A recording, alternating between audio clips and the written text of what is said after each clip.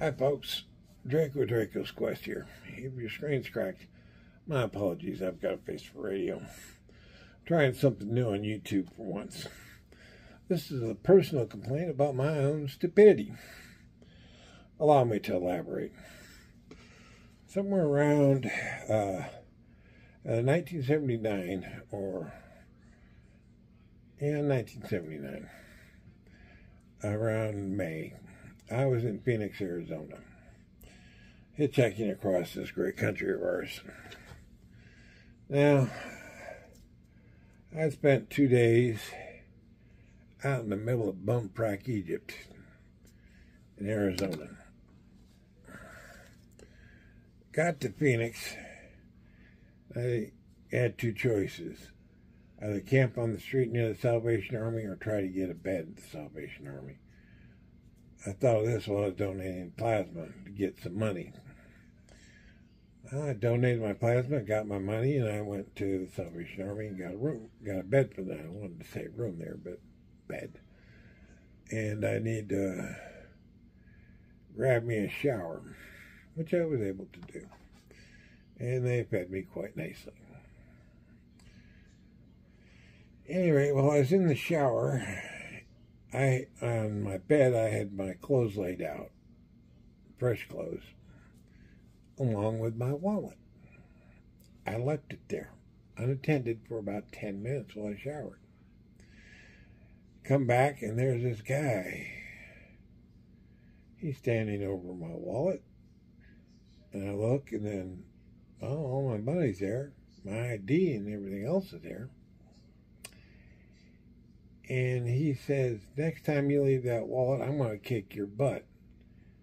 And he points to my, not my wallet, but what was in my wallet, my ID, was extremely, and he said, That's, that's the most important thing right there.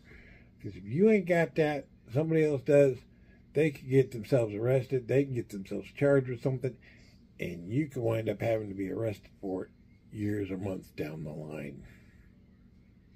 He was right. So after that, I've always kept close track of my wallet and my ID, especially my ID and Social Security card and stuff. Now we're going to come to this. This is my current wallet. Now, uh, yesterday, I went on a long trip. I live in Liberal, Kansas. And that was just some stuff I got to put back up. No big deal. And we went from, I went from Liberal to uh, Garden City, about 45 miles due north of where I am now. About an hour and a half's drive. My son wanted to do some golfing, so I went with him to make sure he got there and back. Anyway, uh, got careless, got stupid, and uh, lost this wallet. Now, we went to only three places. The golf course, uh, Popeye's Chicken. That was the golf course, Popeye's Chicken. The golf course in Garden City, Popeye's Chicken in Garden City. And then on the way back, we stopped at a gas station about halfway in a place called Sublette. And when I got home, I didn't notice it till after I got home that I'd lost my wallet. Now, there are some extremely important documents in here. My ID, my medical card, my bank card, my dog's identification as a service animal, and my social security card. Which, to my surprise, I still have. I'll explain. So when I noticed my wallet missing, I called uh, Liberal PD to report my wallet missing. So I can get a report number so I can get all new identification, all new everything all over again. Because there has to be a report in order to not have to pay all the fees again. At least in California, I don't about here because I didn't have to do it here. At any rate, And then they said, well, call up to uh, uh, Garden City, and I did. And I spoke with a nice officer, and as I'm as I'm calling him and talking to him, he called and he says, and he takes the initial report, gives me an IR number, report number, which I could have actually guessed how that IR number went. Uh, and then I also called Liberal PD and reported to them, and then they suggested I call them, call Garden. And I'm figuring I'm just running the checklist about that all took about five ten minutes at most. And as I'm thinking of who I have to call about my wallet come Monday, uh, actually it would have been today. I thought today, I thought yesterday was Friday, and uh, I would have called them today if I, but I'll explain. Uh, about 20, about within the hour, I'd say, the officer from Garden called me back. And he says, uh, someone's found your wallet on, they're posting it on Facebook. I'll have that over here in the corner somewhere, hopefully soon. If not, uh, there's a picture of me, uh, my driver's license, I'm not my driver's license, my ID, and a picture um, sitting on top of my wallet and I start looking for it on Facebook. I can't find it. But uh, he gave me the phone number of an individual to call. I call him, and I got a surprise. Mild one, but a surprise. And that was one thing. The man's name, who I'm calling, was named Jose. Okay. So I call Jose up. He says that his father's found it at uh, the Popeye's Chicken because I've called uh, both Popeye's Chicken and the uh, rest stop gas station where we stopped on the way back in Sublette. Neither had it. And the officer went to the Popeyes, according to him. And by the way, that officer and the ones here in Liberal went up and beyond the call. any rate, says his father found it in the parking lot at Popeyes. And he texted, uh, I asked him if, I forgot to ask him, I should say, for him to text his parents' address to me. I texted him, hey, what about your parents' address? He sent, then sent me the text a little while ago, I just got back from Garden City. Had to take a nap because this is a beast to carry. Any rate, I'm sitting there,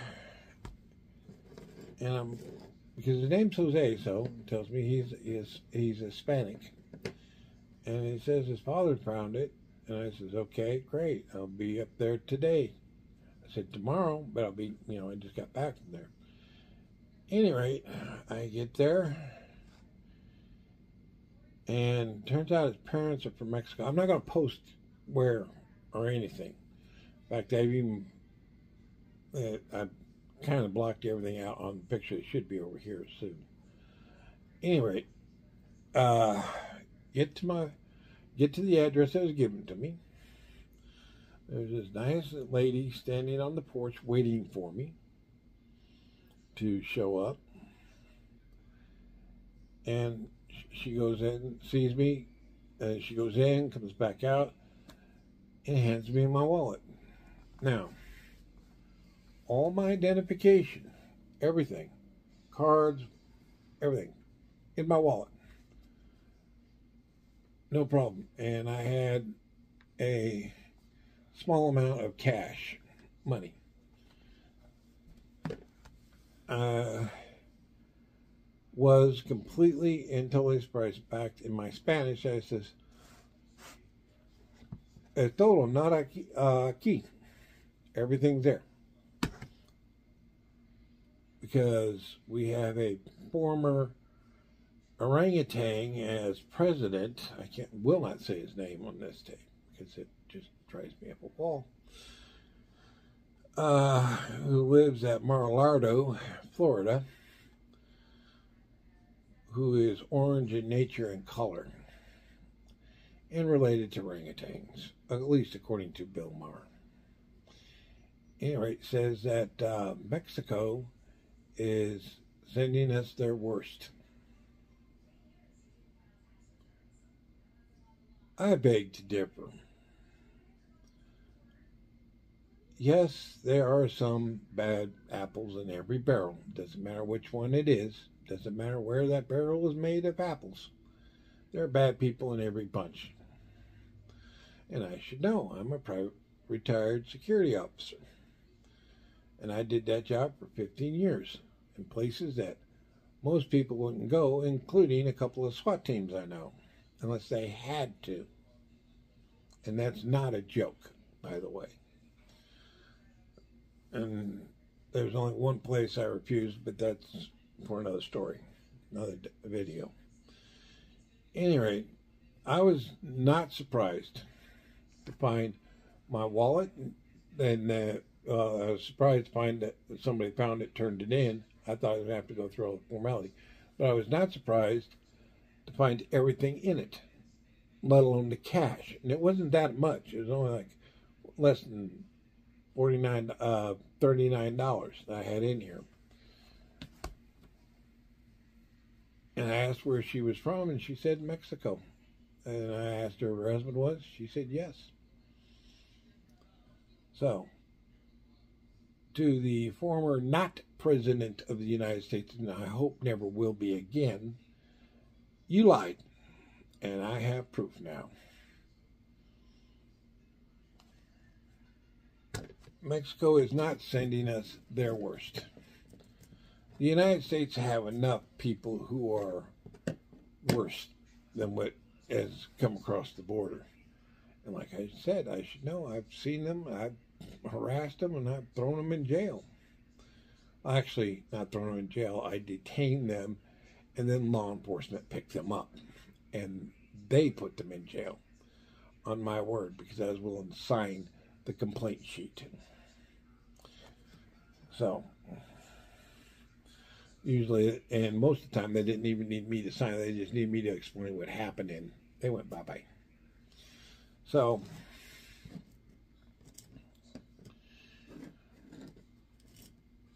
I thank the individual. Um, like I say, I'm going to leave their names out of it and exactly where they are because I don't want them to be harassed, harangued, or belittled for any shape or reason.